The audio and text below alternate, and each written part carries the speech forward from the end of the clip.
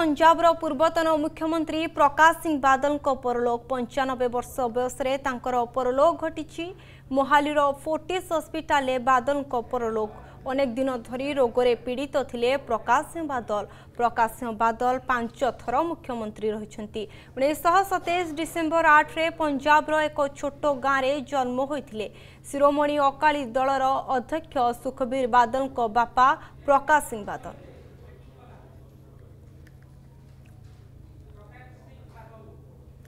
पञ्जा पूर्वतन मुख्यमंत्री प्रकाश सिंह बादल को परलोक पन्चानब्बे वर्ष बयसे परलोक परलक घटि मोहाली फोर्टिस हस्पिटाले